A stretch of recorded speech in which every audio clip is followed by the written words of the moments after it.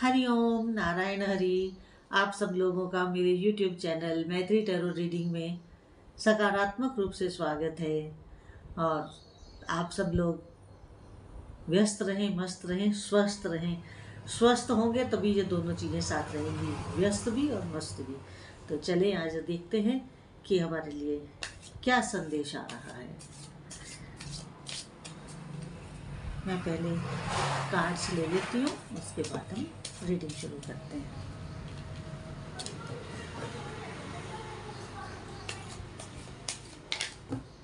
आज बहुत कार्ड बाहर जा रहे हैं। देखते हैं कि प्रभु क्या खुशी ला रहे हैं।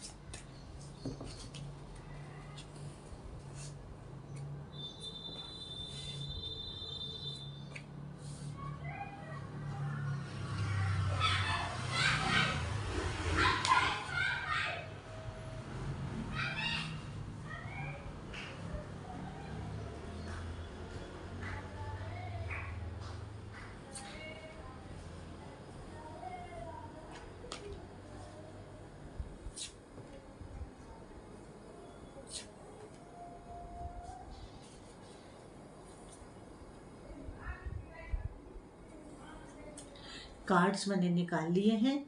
अब हम देखते हैं कि क्या मैसेज आ रहा है। क्या मैसेज आ रहा है? देखिए, पहला कार्ड ही जो है ना, वो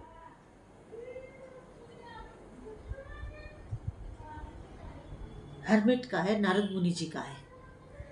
तो जो ये कार्ड है, वो नारद मुनि जी का है। तो ये आपको मालूम है ना कि एक तो नारद ऋषि कहीं ज़्यादा देर टिकते नहीं हैं, है ना?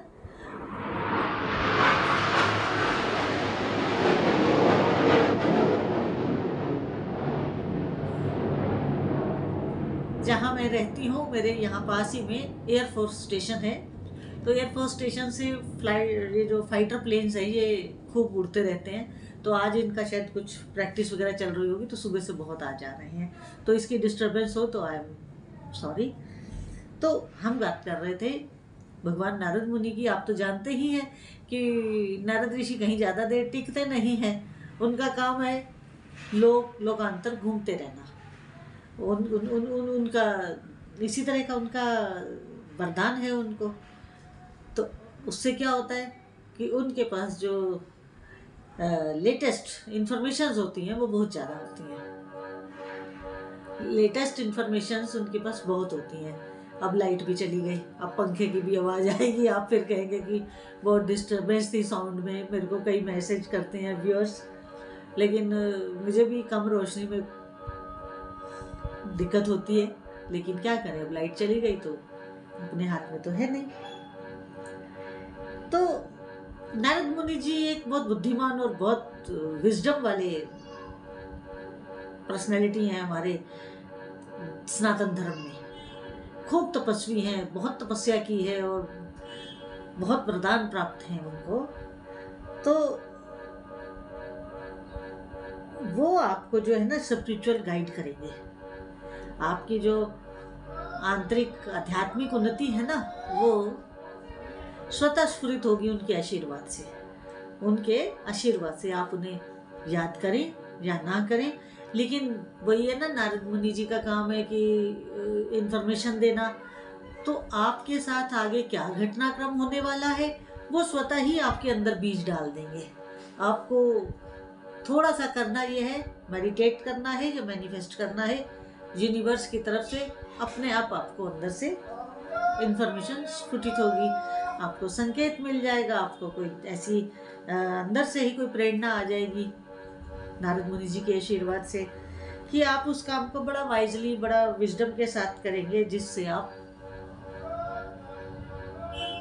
प्रसिद्धि भी पाएँगे, धन भी पाएँगे और यश भी पाएँगे। प्रसिद्धि और यश में अंतर होता है। और आप भी एक आध्यात्मिक व्यक्ति हैं और आपकी जो सोल है, जो आपकी आत्मा है, वो भी जिज्ञासु है। जिज्ञासु है और वो भी सर्च करती रहती है कि उसको कहाँ से कोई आध्यात्मिक जानकारी प्राप्त हो। इसके बाद अगला जो कार्ड है, वो भगवान शिव का है और ये समय भी शिव जी का ही चल रहा है, सावन का। तो जो शिव जी जो आपके कन्फ्यूजन्स हैं, आपके अंदर जो उलझने हैं, जो आपको कुछ परेशानियाँ हैं, उनको दूर करने का काम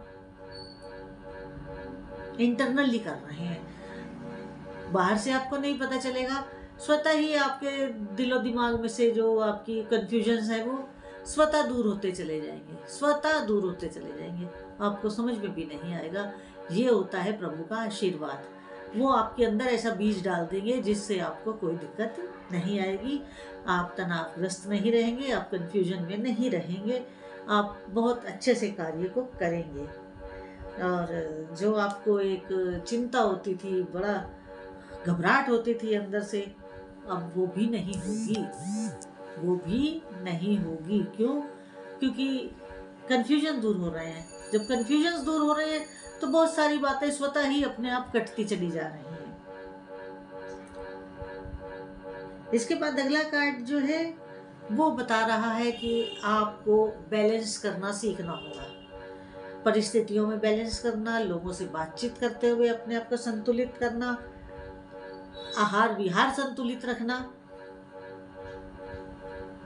और अगर आप कहीं डिसीज़न मेकिंग अथॉरिटी हैं तो वहाँ बड़े बैलेंस्ड वे में, बड़े संतुलित ढंग से निर्णय लेना, अपने स्टाफ के साथ संतुलित व्यवहार करना, परिवार के साथ संतुलित व्यवहार करना और सबको पूरा मान सम्मान देना।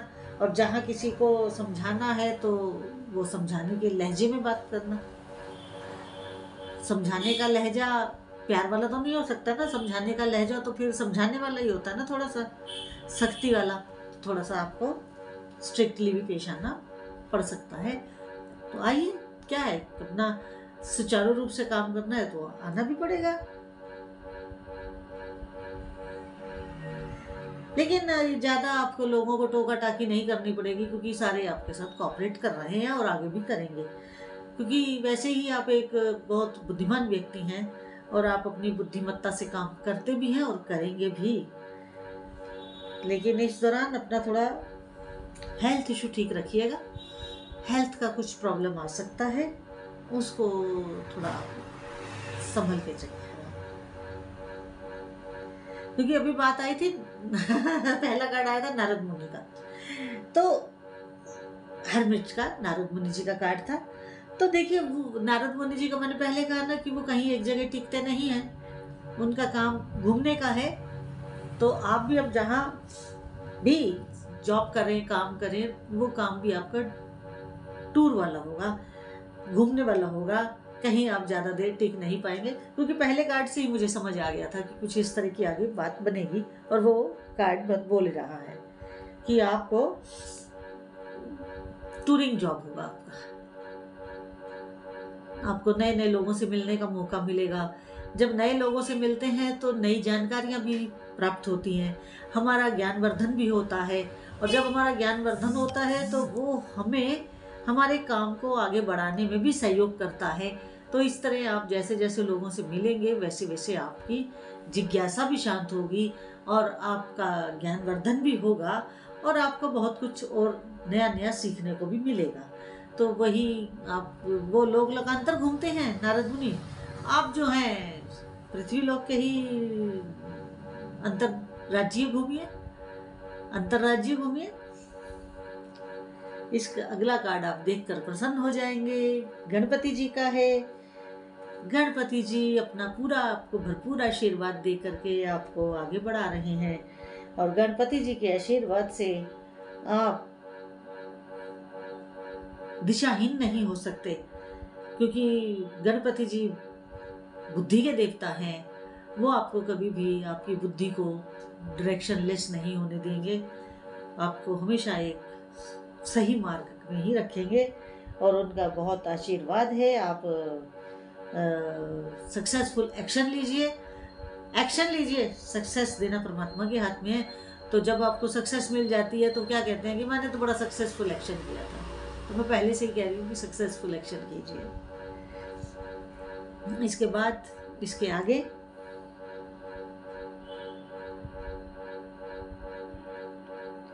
जो आप, ये आपकी बाहर घूमने की जॉब है, इसमें आपकी